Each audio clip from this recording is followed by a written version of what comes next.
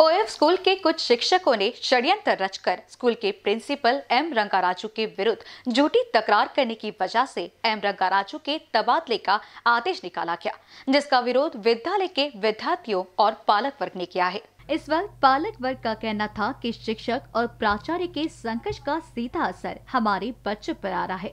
गत तीन साल से एम रंगाराजू के आते ही स्कूल के शिक्षा का स्तर काफ़ी बढ़ गया है। उनके आने से बच्चों में पढ़ाई के प्रति रुचि बढ़ गई है। इसके परिणाम स्वरूप हर साल का दसवीं कक्षा का रिज़ल्ट सौ प्रतिशत तक लग गया। हम सबके बच्चों का भविष्य बनाने के हिसाब से एम. रंकाराजू सर का प्रयास आधे अधूरे रास्ते किसी षड्यंत्र के चलते बंद हो रहा है। यह अत्यंत दयनीय है। इसलिए हम सभी विद्यार्थी एवं पालक वर्ग की तरफ़ से हाथ जोड़कर नम्रता पूर्वक प्रार्थना है कि एम रंगाराजू सर का होने जा रहा तबादला तत्काल स्वरूप रद्द करवाकर हमारे बच्चों को न्याय देने की प्रार्थना करते हैं और हमारे बच्चों के होने जा रहे शैक्षणिक नुकसान को रोककर आपका आशीर्वाद प्रदान करें।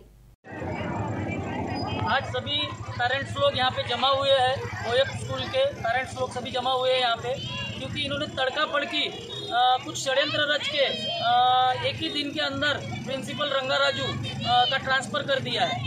जो कि बहुत ही अच्छे प्रिंसिपल है, उन्होंने स्कूल लेवल को बहुत ऊपर उठाया है और यहाँ के कुछ टीचर स्टॉफ की झूठी कंप्लेंट की वजह से उनको आज इन्होंने ट्रांसफ़र दिया है।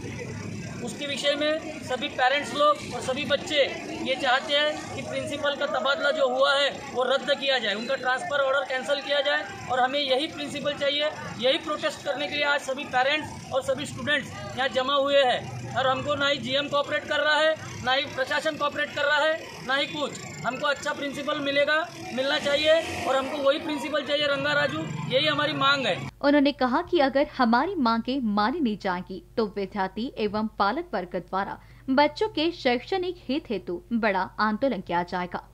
बेसियन न्यूज़ के लिए भद्रावती ऐसी शंकर डे की रिपोर्ट।